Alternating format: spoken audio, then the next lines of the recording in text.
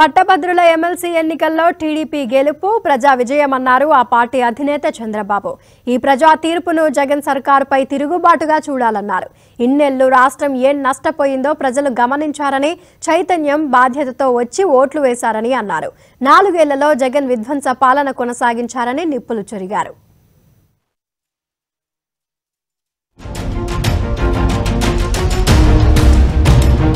జగన్ పనైపోయింది. ఇక ఆయన ఏ ఎన్నికల్లోనూ గెలిచేదే లేదన్నారు టీడీపీ అధినేత చంద్రబాబు. ప్రజల్లో మార్పు వచ్చి తిరుగుబాటు ప్రారంభించారన్నారు. టీడీపీ అధికారంలోకి రావడం ఖాయమని ఎమ్మెల్సీ ఎన్నికల ఫలితాలతో తేలిందన్నారు. ఓటే ఆయుధం అన్న అంబేద్కర్ స్ఫూర్తితో ఎమ్మెల్సీ ఎన్నికల్లో ఓటేశారని ఎన్నికల ద్వారా టీడీపీపై నమ్మకం ఉందనే విషయాన్ని ప్రభుత్వ వ్యతిరేకతను చాటారని అన్నారు. ఈ తీర్పును తిరుగుబాటుగా చూడాలన్నారు చంద్రబాబు. వైసీపీ గాలికి వచ్చిన పార్టీ అని గాలికే కొట్టుకుపోతుందన్నారు. నాలుగేళ్ళలో జగన్ విధ్వంస పాలన కొనసాగించారని విమర్శించారు.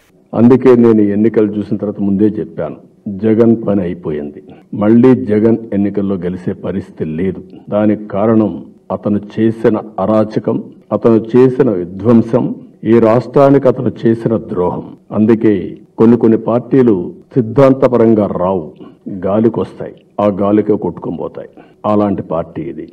జగన్ది ధనబలం రౌడీయిజం అని చంద్రబాబు విమర్శించారు. జగన్ అక్రమాలను నమ్మి వాటితోనే ముందుకెళ్తున్నారని ఎమ్మెల్సీ ఎన్నికల్లో ఎన్ని అవకతవకలకు పాల్పడాలో అన్ని చేశారన్నారు. ప్రతిపక్ష పార్టీల నేతలు మాట్లాడితే కేసులు పెట్టించి వేధించారని భగ్గుమన్నారు. జగన్ సొంత నియోజకవర్గం పులివెందుల్లోనూ తిరుగుబాటు ప్రారంభమైందన్నారు. నేరాల్లో అధికారులను భాగస్వామ్యం చేస్తున్నారని అన్నారు. జగన్ది ధనబలం రౌడీజం అదే మరి అతను ఎక్కడికక్కడ మ్యానిపులేషన్. అవి శాశ్వతం కాదు. అతను అక్రమాలను నమ్మాడు. ఆ అక్రమాలతోనే ముందుకు పోతున్నాడు.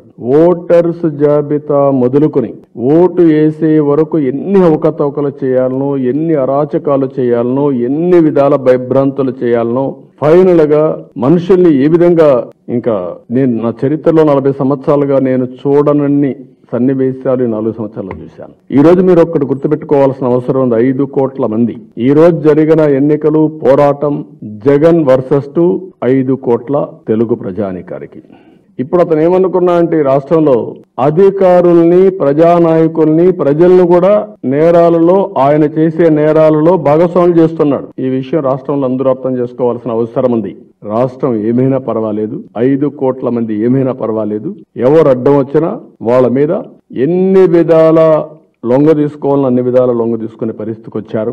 ఓటమిని అంగీకరించలేని పరిస్థితిలో వైసీపీ గ్రాడ్యుయేట్ ఎమ్మెల్సీ ఎన్నికల్లో అక్రమాలకు పాల్పడిందని ఆరోపించారు. కౌంటింగ్లో హాల్లోనూ అడుగడుగున అడ్డంకులు సృష్టించారని భగ్గుమన్నారు. చివరకు టీడీపీ అభ్యర్థి గెలిచినట్లు ప్రకటించిన డిక్లరేషన్ ఇవ్వలేదని రీకౌంటింగ్ చేయాలని ఒత్తిడి తెచ్చారన్నారు.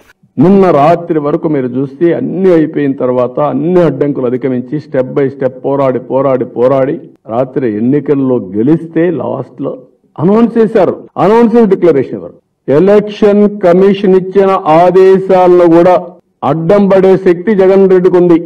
ఎవరూ సమావేశాలు పెట్టకూడని పరిస్థితి తెచ్చారని వైసీపీ సర్కారుపై చంద్రబాబు ధ్వజమెత్తారు. పాదయాత్రలకు రోడ్ షోలకు ఆంక్షలు పెట్టడం ఏంటన్నారు? సభలో పాల్గొనడానికి తాను ఏడు కిలోమీటర్లు నడిచానని అన్నారు. ఇకపై వైసీపీ ఆటలు సాగవని చంద్రబాబు హెచ్చరించారు.